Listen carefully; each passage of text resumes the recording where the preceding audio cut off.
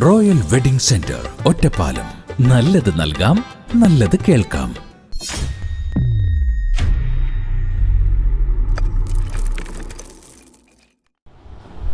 പട്ടാമ്പി തൃത്താല മേഴത്തൂരിലെ കിഴക്കേ കോടനാട് മൂക്കറാമ്പാട്ടിൽ അമ്മിണിയമ്മയുടെ വീട്ടിൽ മഴയൊന്നു പെയ്തു തോർന്നപ്പോൾ കണ്ടത് രണ്ട് കിണറുകൾ.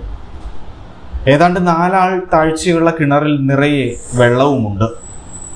വീട്ടിൽ സ്ഥിരമായി ഉപയോഗിക്കുന്ന കിണറും അതിനു സമീപത്ത് തന്നെയുണ്ട്.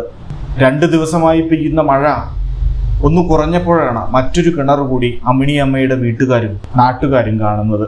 സംഭവത്തിൽ വണ്ടറടിച്ചിരിക്കുകയാണ് അമ്മിണിയമ്മയും വീട്ടുകാരും നാട്ടുകാരും എല്ലാം റോയൽ വെഡിംഗ് സെന്റർ ഒറ്റപ്പാലം. നല്ലത് നൽകാം നല്ലത് കേൾക്കാം.